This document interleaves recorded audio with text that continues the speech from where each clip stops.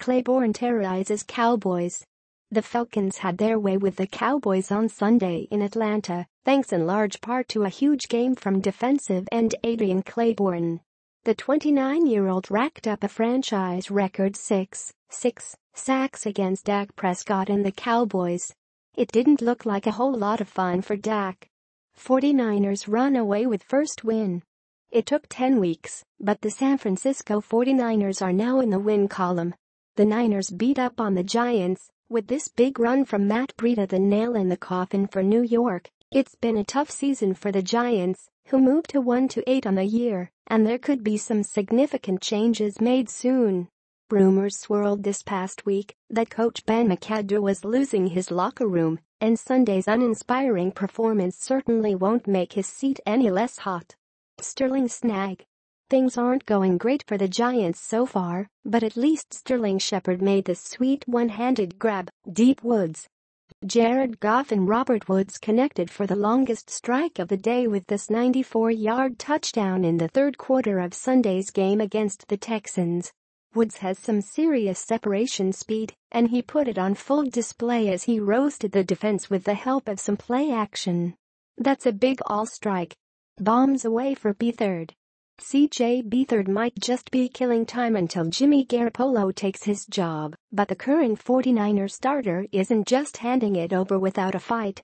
Beathard threw this gorgeous bomb to Marquise Goodwin in the first half of Sunday's game against the Giants, resulting in a big 83-yard touchdown connection to give San Fran the lead.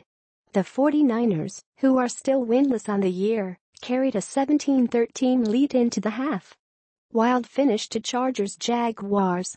The Chargers-Jaguars contest in Jacksonville was an absolutely wild one down the stretch with both teams finding various ways to shoot themselves in the foot and hand opportunities back to the opponent. It looked like the game might have been coming to an end when Blake Bortles threw an interception with his team down by three with under two minutes left to play. But the Chargers immediately fumbled the football and gave possession back to the Jags, who actually played themselves out of field goal position thanks to a stupid taunting penalty from Marquise Lee. The pass interference flag Lee was celebrating ended up getting reversed, while his 15-yard unsportsmanlike stuck. Whips. But the Jags' timeouts allowed them to get yet another possession, and they ultimately forced overtime with a field goal. It took a few tries in OT, but Jacksonville finally came away with the win when an interception gave them great field position and Josh Lambo beat his former team with a field goal. The Chargers managed to get a hand on the attempt, but it still sailed through the uprights. Tate plunges dagger into Browns. Golden Tate came up with a huge 40-yard touchdown to double the Lions' lead late in their contest against the Browns, and he followed it up with a four-directional salute to honor the troops on Veterans Day weekend. Keenum slinging it for the Vikings. Vikings fans may have been super excited to see Teddy Bridgewater in uniform on Sunday, but it was Case Keenum who delivered a strong performance under center for Minnesota. Keenum put four passing touchdowns and a perfect passer rating next to his name on the box score before even reaching the game's final quarter. His favorite target has been Adam Thielen, who has accounted for over 150 yards and one touchdown. Browns shooting themselves in the foot against Lions. The Cleveland Browns are still looking for their first win and are hanging with the Lions in the first half of their contest in Detroit. In fact, the Browns jumped out to an early 10-0 lead, but they didn't exactly doing themselves any favors as the first half played out.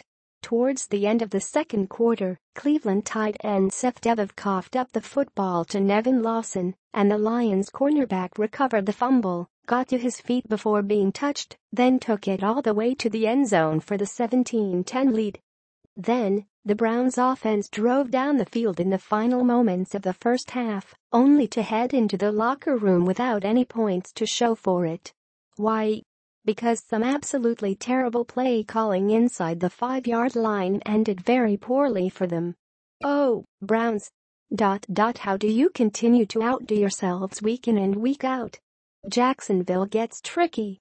The Jaguars struck first in their contest against the Chargers on Sunday and they did so via a fake punt that resulted in a 56-yard touchdown.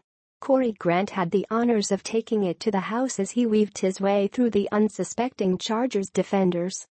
Getting to watch a team successfully pull off a surprise trick play is one of football's greatest pleasures, so thank you, Jags. Teddy sheds some tears.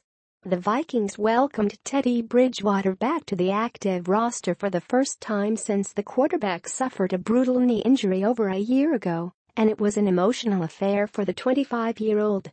Bridgewater didn't get the start, but it's clear just being in uniform meant a lot to him, as he shed some tears of joy on the sideline as the game began.